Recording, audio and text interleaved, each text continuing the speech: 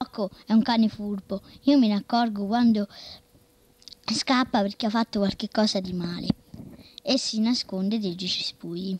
Purtroppo lo tengo in, non lo tengo in casa, ma nel mio paese, dove vado ogni domenica, ma c'è papà che quando torna dal lavoro lo va a trovare e gli dà qualcosa da mangiare, tipo il latte, il mangime e a volte anche le vitamine.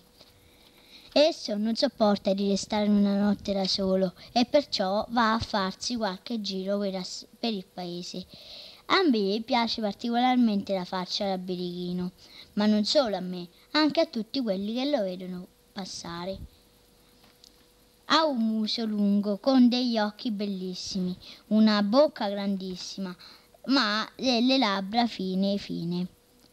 Io ci gioco sempre e mi diverte un mondo.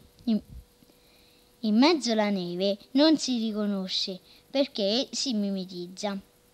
Lui si diverte tantissimo quando nevica perché si rotola e fa tante altre cose. Io non l'ho mai visto con la coda tra le gambe, a parte quando si fa il bagno e quando sente gli spari. È sempre molto allegro e vivace.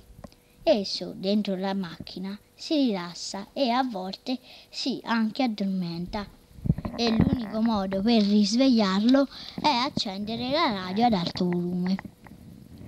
Io un cane lo desideravo da tempo e per fortuna ora lo ho ed anche bello come proprio lo desideravo.